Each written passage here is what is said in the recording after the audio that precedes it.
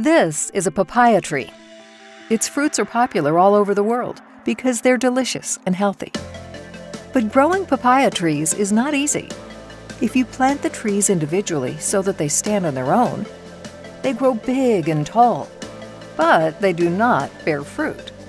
If you plant the trees closer together, they give each other shelter and shade. This makes them produce fruit, lots of fruit, the seeds of which will eventually grow into more papaya trees. The papaya grove exists in a state of harmony. Each tree promotes the growth and development of the others. Only together can they grow and flourish. And that is exactly what a partnership with NFON stands for. Together, we are strong. We grow together, bring out the best in each other, and plant new papaya trees with lots of fruit as a team. Build a strong papaya grove with us and become a part of NFON.